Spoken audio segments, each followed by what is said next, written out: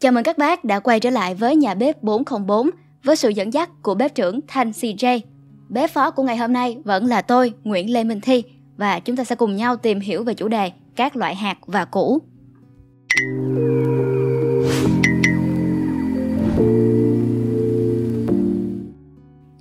Hôm nay chúng ta sẽ lại vào bếp với nhà bếp 404 và nhà bếp hôm nay sẽ có các loại hạt và củ. Các loại hạt và củ là thứ có chứa nhiều tinh bột nhất. Chúng được các loài thực vật sử dụng như một cách để sinh sản ra thế hệ tiếp theo. Con người từ xa xưa đã biết tìm kiếm các loại củ và hạt phục vụ cho bữa ăn của mình. Loại hạt truyền thống châu Á mà nhiều người biết đến có lẽ là hạt gạo làng ta. Các loại hạt hoặc củ có cấu trúc là các tế bào chứa nhiều tinh bột, được bảo vệ bởi một màng dạng sợi và cứng. Cách nấu các loại hạt thường có một nguyên tắc chung là làm cho cái màng này mềm ra. Cung cấp một lượng nhiệt cao sẽ có thể làm cho lớp màng này vỡ ra. Hoặc thêm một cách khác, đó là tạo ra áp suất bên trong màng tế bào và bên ngoài. Tất nhiên là áp suất này cũng được tạo ra nhờ nhiệt cung cấp trong quá trình nấu mà thôi. Các loại củ, hạt tươi thường nấu mau chín hơn vì bên trong tế bào của chúng có nhiều nước hơn. Khi nhiệt độ tăng thì áp suất của một lượng nước lớn bên trong tế bào sẽ tăng lên nhanh hơn và dễ dàng phá vỡ lớp màng với áp suất ấy. Và cũng vì lý do này mà các loại củ hạt khô thường nấu lâu hơn nhiều so với loại tươi. Có cách để cải thiện tốc độ nấu cho các loại hạt củ khô đơn giản và dễ làm, đó là ngâm chúng trong nước. Để cho một lượng nước nhất định ngấm vào bên trong cái tế bào ấy.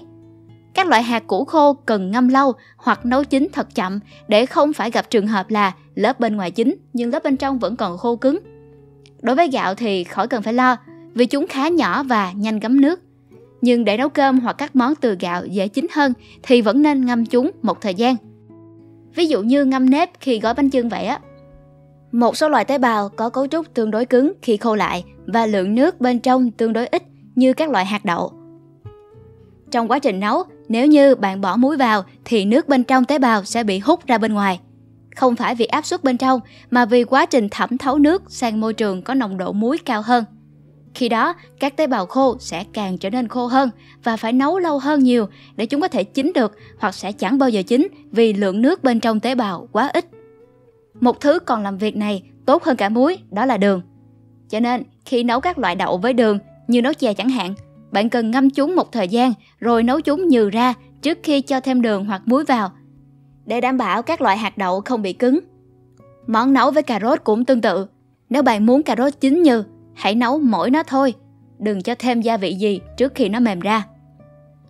Ngâm các loại hạt củ khô ngoài tác dụng ngấm nước vào tế bào thì việc này còn có một tác dụng khác cực kỳ tuyệt vời nữa, đó là kích thích quá trình nảy mầm của các loại hạt củ. Trong tự nhiên, các loài động vật có thể bỏ chạy để tránh bị ăn thịt, nhưng các loại cây cối thì không thể chạy, cho nên chúng có một phương pháp khác để tránh bị ăn. Mục đích chính của phương pháp này là dùng để bảo vệ các loại hạt, những con cháu tương lai của chúng. Bên trong các loại hạt cũ có những chất đặc biệt. Các chất này sẽ khiến cho bộ máy tiêu hóa của chúng ta không thể thực hiện việc tiêu hóa một cách bình thường được. Và cách để làm các chất này mất đi là nấu chín chúng, phá vỡ chúng bằng nhiệt độ hoặc ngâm để kích thích quá trình nảy mầm. Tự thân các hạt sẽ phá hủy những chất ức chế này trong quá trình chuẩn bị cho việc nảy mầm. Hãy ngâm chúng trong khoảng nửa ngày các món ăn của bạn sẽ được nấu chín dễ dàng hơn và cũng chất lượng hơn. Nếu ai đã từng ăn các loại đậu sống, bắp sống hay khoai còn sống hoặc là chưa chín kỹ sẽ biết được cảm giác khó chịu trong ruột như thế nào. Nặng có thể tiêu chảy, còn nhẹ hơn thì với lượng các chất chưa tiêu hóa khi xuống ruột già, vi khuẩn đường ruột E. coli sẽ mở tiệt và tạo ra hiện tượng đầy hơi chướng bụng. Và sau cùng của việc này sẽ là những âm thanh ồn ào, bốc mùi quen thuộc. Các loại hạt khi được kích thích quá trình nảy mầm thì tốt hơn cho món ăn và có lợi cho sức khỏe. Nhưng một số loại củ khi nó bắt đầu nảy mầm thì lại là một mối nguy hại cho sức khỏe, đặc biệt là khoai tây. Cho nên, tốt nhất là tránh ăn các loại củ bắt đầu có dấu hiệu nảy mầm. Chúng vừa có vị không ngon mà còn không tốt cho sức khỏe nữa. Một số loại củ khác vẫn có thể ăn được khi nảy mầm, nhưng chúng khi đó rất dở cho việc nấu món ăn.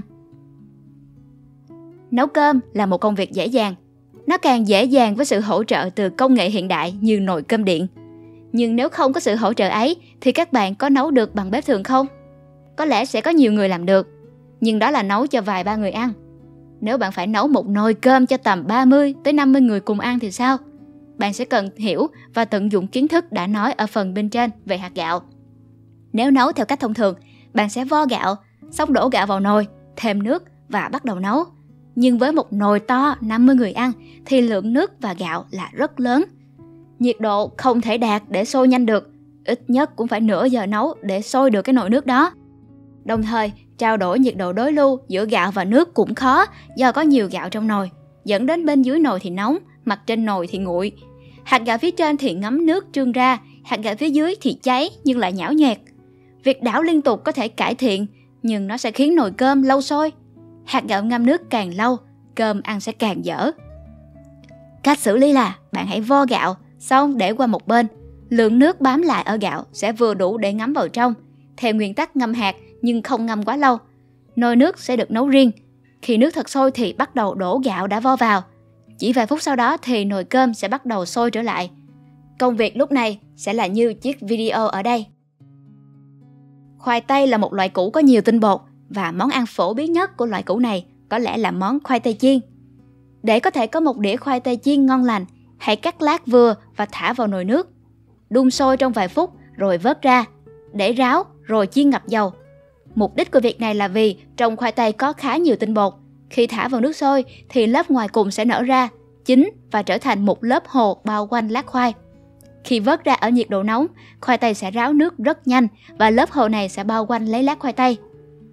Việc cắt lát khoai tây ráo nước sẽ giúp trong quá trình chiên giữ được lớp vỏ chắc. Đồng thời, lớp hồ bao quanh sẽ ngăn không cho dầu thấm ngược vào bên trong.